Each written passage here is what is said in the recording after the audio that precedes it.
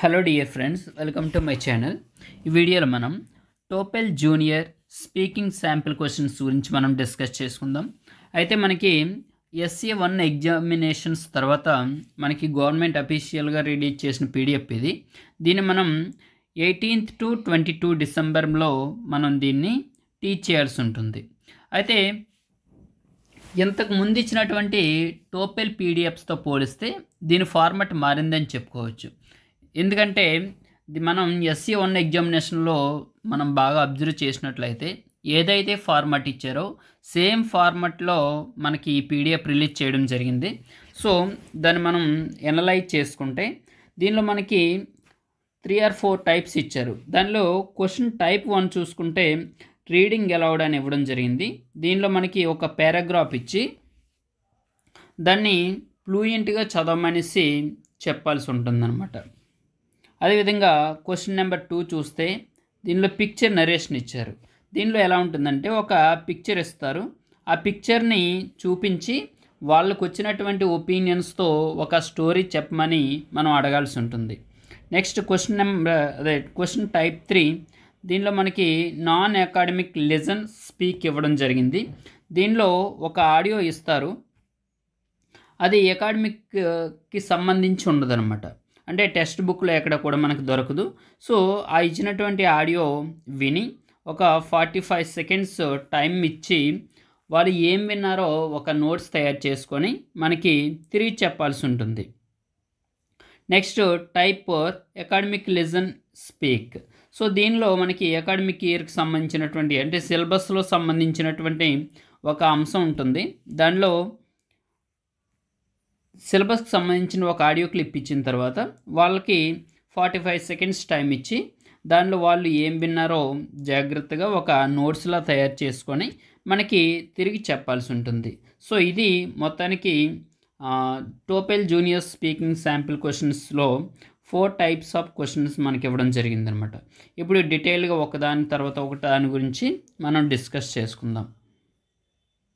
So దీనిలో question type వన్లోకి వెళ్ళేసరికి first మనకి రీడ్ అలౌట్ రీడ్ అలౌడ్ అనేటటువంటి కాంపిటెన్స్ ఇవ్వడం జరిగింది. దీనిలో ఎలా ఉంటుందంటే మనకి ఒక పారాగ్రాఫ్ ఇస్తారు. ఇచ్చిన తర్వాత దాన్ని బాగా చదవమని చెప్పి ఒక స్టూడెంట్కి చెప్పిన తర్వాత వన్ మినిట్లో దాన్ని మనకి ఫ్లూయెంట్తో చదవాల్సి ఉంటుందన్నమాట. సో దీనికి గాను మనం ఈ పారాగ్రాఫ్ని స్మార్ట్ టీవీ లేదా ట్యాబ్ ఆర్ స్మార్ట్ ఫోన్లో మనం డిస్ప్లే చేసి వాళ్ళకి చూపించి తిరిగి చదవమని చెప్పాల్సి ఉంటుంది. సో ఇలా చేయడం వల్ల వాళ్ళు రీడింగ్ ఫ్లూయెన్సీ అనేది ఇంప్రూవ్ చేసుకోవడం జరుగుతుంది. సో దీనికి గాను నేను ఏం చేస్తున్నానంటే ఈ ఈ ఏదైతే ప్రాక్టీస్ క్వశ్చన్లో ఇచ్చారో దీనిలో మనకి విన్సెంట్ వాన్ గో అనేటటువంటి ఆర్టిస్ట్ గురించి ఇవ్వడం జరిగింది. దీన్ని బెటర్ ఫ్లూయెన్సీ కోసం నేను దీన్ని గూగుల్ ట్రాన్స్లేటర్ సహాయంతో మీకు ఆడియో క్లిప్ వినిపిస్తాను అది విన్న తర్వాత దీని యొక్క తెలుగు మీనింగ్ అనేది నేను ఎక్స్ప్లెయిన్ చేయడం జరుగుతుంది ఫస్ట్ ఆ ఆడియో క్లిప్ ఒకసారి వినండి Practice question. Today, Vincent van Gogh stands as one of the most celebrated artists of the 19th century, and his painting, The Starry Night is not only one of his most famous works, but also one of the most famous paintings in the world. Yet Van Gogh and his beloved painting were not always as famous as they are today. And even today, few people know a great deal about his artistic process. Most are satisfied to know his name and vague facts about his mental health. Despite having gained a small measure of acclaim in the two years preceding his death, Van Gogh lived most of his life in obscurity. Born in the Netherlands, he had been interested in art from a young age and worked as an art dealer for a few years in his early adulthood. However, he spent much of his adult life working in various professions before finally beginning his artistic career.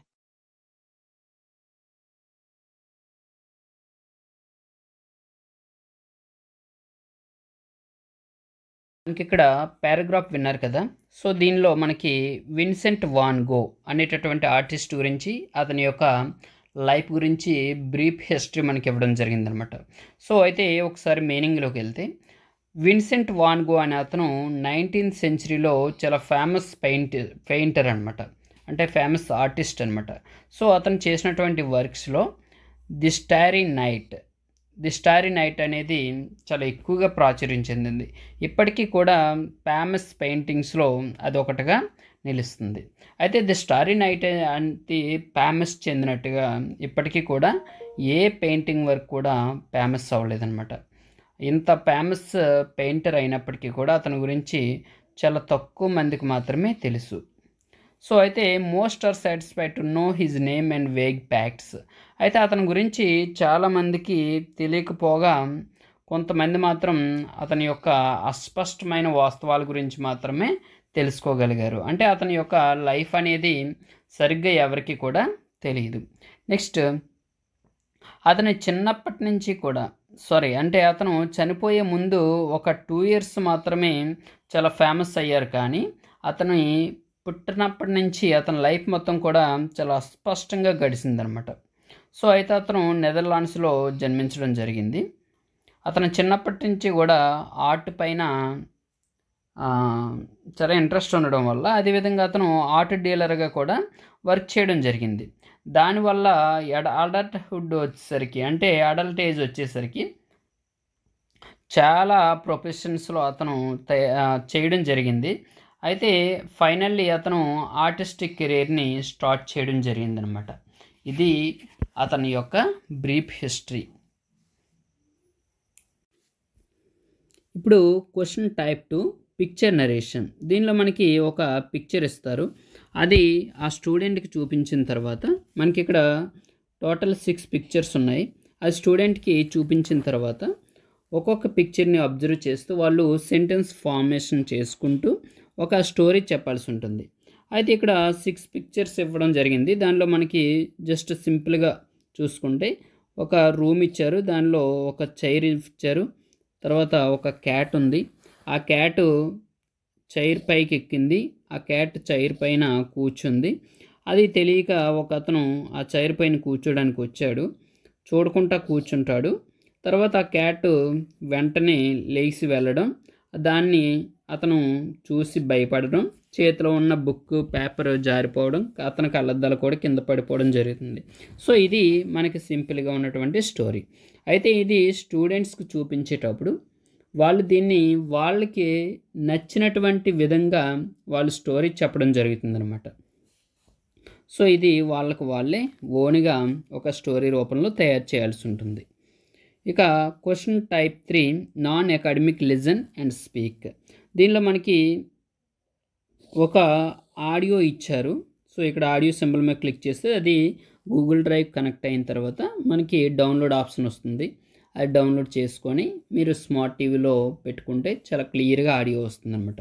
అయితే మనకి ఇక్కడ ఒక audio clip ఇవ్వడం జరిగింది. ఇది విన్న తర్వాత స్టూడెంట్స్కి ఒక ఫార్టీ ఫైవ్ సెకండ్స్ టైం ఇస్తారు. ఆ ఫార్టీ ఫైవ్ సెకండ్స్ టైంలో వాళ్ళు విన్నది ఒకసారి మెమరైజ్ చేసుకొని వాళ్ళు ఒక నోట్స్ తయారు చేసుకుంటారు. చేసుకున్న తర్వాత అది మళ్ళీ మనకి తిరిగి చెప్పాల్సి ఉంటుందన్నమాట. అంటే ఆ ఆడియో క్లిప్లో ఏమి ఎక్స్ప్లెయిన్ చేశారు? అసలు దేని గురించి ఆ ఆడియో క్లిప్లో మాట్లాడడం జరిగింది? ఇవన్నీ అంశాలన్నీ కూడా మనకి తిరిగి చెప్పాల్సి ఉంటుంది. సో ఒకసారి ఆ ఆడియో క్లిప్ వినండి. విన్న తర్వాత దానిలో ఏమి ఇచ్చారు అనేది నేను ఎక్స్ప్లెయిన్ చేస్తాను. Attention, all students. It's time to showcase your athleticism and team spirit at our upcoming annual athletic meet. This year, we're organizing the event according to houses, creating a thrilling competition filled with camaraderie. Whether you're a track star, a field enthusiast, or just excited to cheer on your house, this is your chance to shine. Sign up now to be part of this exciting event that celebrates both individual talents and collective house pride. Don't miss out on the fun, adrenaline, and the opportunity to contribute to your house's victory. Sign up sheets are available in the main office. Let the games begin.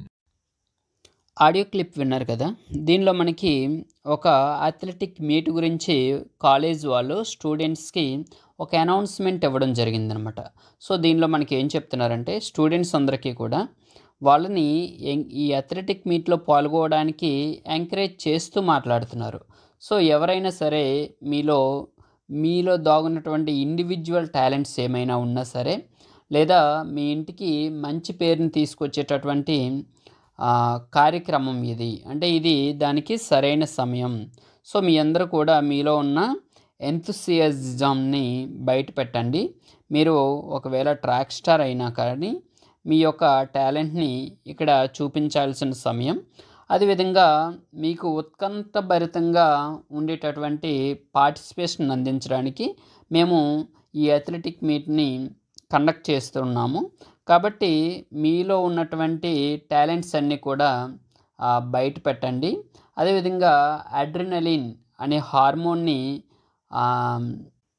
Release చేయడానికి కూడా ఈ healthy competition అనేది చాలా ఉపయోగపడుతుంది. అంటే adrenaline అనే hormone అనేది మనం రిక్రియేషన్ మోడ్లో అంటే చాలా హ్యాపీగా ఎప్పుడైతే ఉంటామో అప్పుడు మాత్రమే అది రిలీజ్ అవుతుందన్నమాట. సో మనం ఈ అథ్లెటిక్ మీట్ ద్వారా మనకి అడ్రినలిన్ అనే హార్మోన్ కూడా రిలీజ్ అవుతుంది అని చెప్తూ ఉన్నారన్నమాట. సో అయితే ఈ అథ్లెటిక్ అథ్లెటిక్ మీట్లో పార్టిసిపేట్ చేయడానికి సైనప్ కావాల్సి ఉంటుంది. ఆ సైనప్ సీట్స్ అనేవి మన ఆఫీస్లో ఉన్నాయి. వెళ్ళి వాటిని నింపేసి ఇవ్వండి అనేసి చెప్తూ ఇప్పుడు గేమ్ స్టార్ట్ చేద్దాం అనేసి మనకి ఆడియో క్లిప్లో ఎక్స్ప్లెయిన్ చేయడం జరిగిందనమాట లాస్ట్ క్వశ్చన్ టైప్ ఫోర్. దీనిలో మనకి అకాడమిక్ లిజన్ స్పీక్ అంటే అకాడమిక్ టాక్కి సంబంధించినటువంటి ఒక ఆడియో క్లిప్ ఇస్తారన్నమాట. ఈ ఆడియో క్లిప్ విన్న తర్వాత స్టూడెంట్స్కి ఫార్టీ ఫైవ్ సెకండ్స్ టైం ఇచ్చిన తర్వాత వాళ్ళు ఏదైతే విన్నారో దాన్ని మనం క్వశ్చన్స్ ద్వారా కానీ లేదంటే వాళ్ళకు వాళ్ళే ఏం చెప్పారో అది మనకి తిరిగి చెప్పాల్సి ఉంటుంది. సో దీనిలో ఫస్ట్ ఈ ఆడియో క్లిప్ విన్న తర్వాత అంటే ఈ ఆడియో క్లిప్ నేను తర్వాత ప్లే చేస్తాను. ఈ ఆడియో క్లిప్ విన్న తర్వాత దాని యొక్క తెలుగు మీనింగ్ అనేది నేను ఎక్స్ప్లెయిన్ చేస్తాను ఒకసారి ఆడియో క్లిప్ వినండి Hello, curious minds. Today, let's marvel at the enchanting process of the birth of butterflies. The journey begins with a tiny egg laid on a host plant. Soon, a caterpillar emerges, voraciously munching on leaves, growing and shedding its skin multiple times. Then comes the magical moment of metamorphosis inside a chrysalis, like a cozy cocoon. Inside, the caterpillar transforms into a liquid before shaping into a butterfly. Witnessing this miracle teaches us about resilience, change, and the beauty that arises from transformation. So let's embrace the marvels of nature and appreciate the delicate dance of life as butterflies grace our world. Audio clip విన్నారు కదా? దీనిలో మనకి చేతాకోక చిలుక యొక్క దాని యొక్క పుట్టుక యొక్క మంత్రముగ్ధమైనటువంటి ప్రక్రియను చూసి ఆశ్చర్యపోదాం అనేటటువంటి ఒక అంశాన్ని మనకి ఈ ఆడియోలో చెప్పడం జరిగింది. అయితే దాని యొక్క పుట్టుక ఏ విధంగా స్టార్ట్ అవుతుంది అంటే ఒక అతిథేయ మొక్క పైన పెట్టిన చిన్న గుడ్డుతో ప్రయాణం కొనసాగిస్తూ అది గొంగళ పురుగు మారడానికి కొన్ని ఆకులను తింటూ పెరుగుతూ దాని యొక్క చర్మాన్ని చాలాసార్లు తొలగించుకుంటూ వస్తుందన్నమాట. అప్పుడు లోపల కకూన్గా మారడానికి జరగడానికి ఒక మాయక్షణం అనేది జరుగుతూ ఉంటుందన్నమాట. లోపల గొంగళ పురుగు చీతాకోక చిలుకగా మారే ముందే అది ద్రవంగా మారుతుంది. సో ఈ కా ఈ ప్రక్రియ ఏదైతే ఉందో అది మనకి పరివర్తన నుండి ఉత్పన్నమయ్యే అందం గురించి బోధిస్తుంది. కాబట్టి ప్రకృతి అనేది చాలా అందంగా ఉంటుంది. దాన్ని మనం ఆలింగనం చేద్దాం. అదేవిధంగా సీతకోక చిలుకలు మన ప్రపంచాన్ని అలంకరిస్తున్నందున జీవితపు సున్నితమైన నృత్యాన్ని అభినందిద్దాం అనేసి మనకి ఒక అకాడమిక్ స్పీక్ అనేది మనకి ఇవ్వడం జరిగిందనమాట. ఇది ఆ ఆడియో క్లిప్ యొక్క సారాంశం. ఇది మనకి ఎయిటీన్త్ టు ట్వంటీ టూ డిసెంబర్లో చెప్పాల్సినటువంటి టోపెల్ స్పీకింగ్. దీని తర్వాత టోపెల్ లిజనింగ్ గురించి నేను ఒక నెక్స్ట్ వీడియోలో ఎక్స్ప్లెయిన్ చేయబోతూ ఉన్నాను. సో మరిన్ని వీడియోల కోసం నా ఛానల్ని సబ్స్క్రైబ్ చేయండి. అదేవిధంగా మీ ఫ్రెండ్స్తో షేర్ చేసుకోండి. Thanks for watching.